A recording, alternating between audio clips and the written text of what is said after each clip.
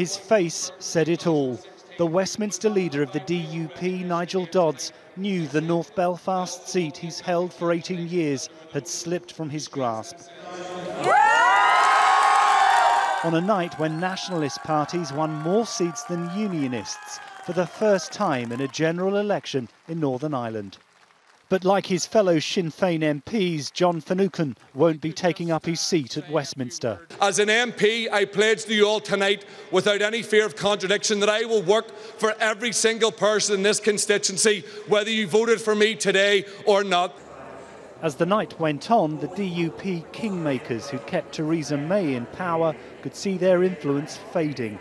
But as the dust settles, they deny they're now an irrelevance. We have the, exactly the same power in Parliament as all of the other uh, MPs that are there from different parties other than the Conservative Party. So uh, when I listen to people saying you're irrelevant now, no, we're not irrelevant. We have the votes of the people of Northern Ireland. We will take those to Westminster and we will use them like any other party.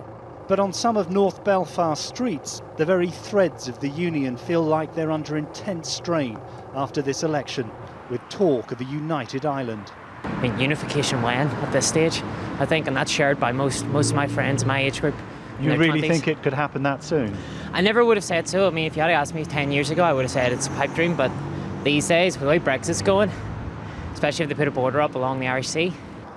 And there's anger that Brexit could leave Northern Ireland exposed. Boris Johnson turned us back on this country from the start, if you ask me. He wanted the votes from the DUP. He got the votes and he turned it back on, on this country. So he sold our country down the river.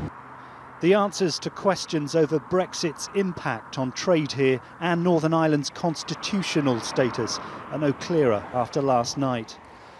These results increase the pressure on parties here to restore the power sharing institutions. With talks due next week, politicians know it's never been more important for Northern Ireland's voice to be heard, with Brexit on the horizon. Neil Connery, News at 10, Stormont.